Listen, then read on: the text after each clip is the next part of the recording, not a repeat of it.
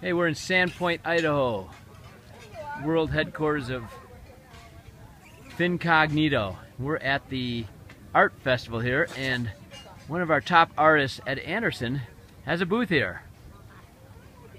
Ed, how are you doing today? Good. You Good, good.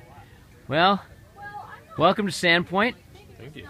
Just want to take a couple seconds to ask you a couple questions about you know your artwork. You've Okay. been uh, you just tell me you've uh, been at this for a while, but uh, but in this genre, um, not as ju- just more recently as a, a style you picked up. Yeah, just uh, I've, I've been working as an artist on and off my entire life, and uh, kind of fell backwards into this style. It's it's basically a derivative of my sketchbook and the style in which I think, and got really lucky. Did a bunch of this stuff on brown paper and got picked up right away a few years ago, and it's been getting published, picked up by great organizations. Traveling the country with it now, and just staying too busy for my own good. That's great. Tell me tell me a little bit about uh, what the uh, what, what the medium is here that you, you So like to work in. Essentially, the way I do it is I, uh, I pile on a bunch of acrylic paint with a lot of water, let it run, let it do what it's going to do. Then I do a gestural sketch over the top. Uh, come back in and add layers, put some light, shadows, um, and because it's such a new style, every painting's evolving what I'm doing really, really fast. Uh, don't know where it's going all the time, and, and really challenging it with every every brush stroke, every pen stroke, and uh, really see some really cool stuff for it in the near future.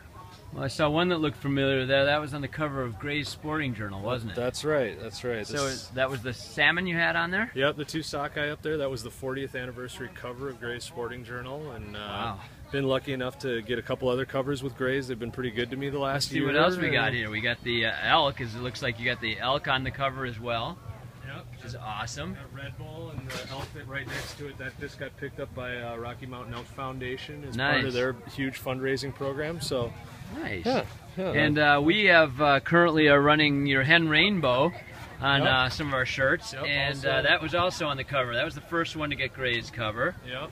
And, kinda uh, the- just- that's the painting that kind of started it all. So.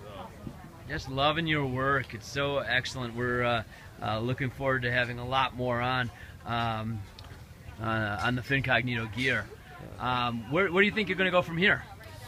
Uh, well, that's a good question. Hopefully, I'll get home for a couple minutes. That would be nice. I know you've been on the road a lot. See my kids been gone for about five weeks, so it'll be nice to get home and, and hang out with the girls and get in the studio, work on commission projects. I uh, I'll be traveling again to Salmon Days first part of October. That's an annual show I really like. A lot of people, a lot of fun stuff. And then uh, hitting some of the sporting expos, getting down to do Safari Club stuff, international sporting expos, maybe one or two with Fincognito. And. Uh, yeah, Rocky Mountain Elk. Who knows where I'll be? I've, if, if you know what my schedule's going to be, uh, good luck. Hopefully, at some point, I'll be able to put it on my website, but who Well, knows? Good enough, Ed. Thanks Yeah. a lot. We really appreciate all you do for Fincognito, and uh, wish you a lot more luck in the future. All right. Thanks, Doug.